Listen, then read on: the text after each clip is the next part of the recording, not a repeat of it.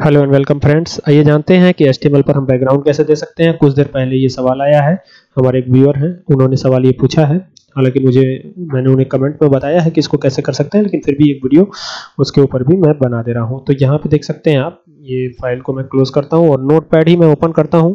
वो coding note पर ही ज़्यादातर लोग करते हैं। हालाँकि आप Notepad plus plus Sublime Text editor या डीप ड्रीम व्यूअर को भी यूज़ कर सकते हैं। अगर आप बड़े डेवलपर बनना चाहते हैं तो सबसे पहले मैं यहाँ एस लिखता हूँ। देन हेड लिखता हूँ, ठीक है? देन यहाँ लिखूँगा टाइटल तो टाइटल में जो भी टाइटल है वो आप दे सकते हैं। मैं यहाँ टाइटल को ब्लैंक रहने देता हूँ और टाइटल को क्लोज कर देता हूँ। इसके पश्चात हेड को भी क्लोज कर दूँगा मैं। तो ये भी मैंने क्लोज कर दिया। अब यहाँ पे बॉडी टैग लेना है आपको और यहाँ लिखना है बैकग्राउंड आमतौर पे यहाँ बीजी कलर लगाते हैं आप। मैं यहाँ लगाता हूँ बैकग्राउंड इज़ इक्वल टू अब डबल नोटेड कॉमा के अंदर जो भी देना है आपको देना है। इसके बाद मैं बॉडी को क्लोज कर दूँगा, ठीक है? और एस को भी कर दूँगा क्लोज तो आप देख सकते हैं मैंने बॉडी और एस दोनों को क्लोज कर दिया है।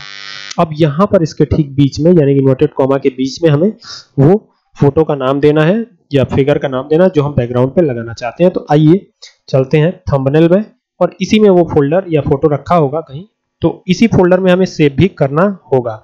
तो इसी को मैं कॉपी करता हूँ। यहाँ से प्रॉपर्टीज़ पे जाएँगे और यहाँ पे देख सकते हैं आप नाम है वन तो इसी को मैं कॉपी कर लेता हूँ, ठीक है? तो ये कॉपी कर लिया हमने। देख सकते हैं एक्सटेंशन इसकी साफ़ तौर पे दिखाई दे रही है पीएनजी तो ये पीएनजी फ़ाइल है तो हमको एक्सटेंशन भी पीएनजी ही रखना होगा।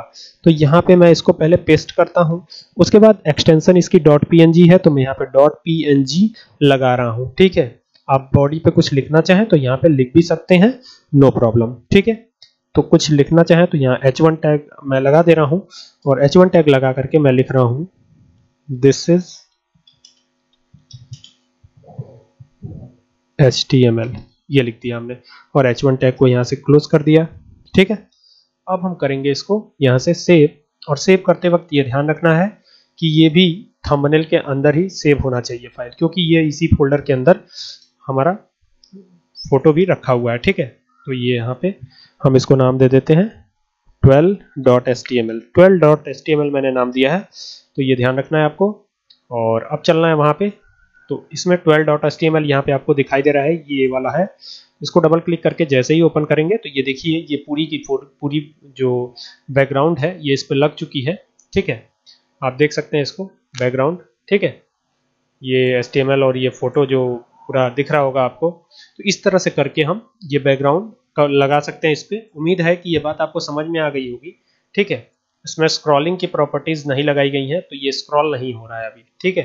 आप स्क्रॉलिंग की प्रॉपर्टीज़ के लिए सीएसएस की वीडियोस देख सकते हैं। Thank you for watching this video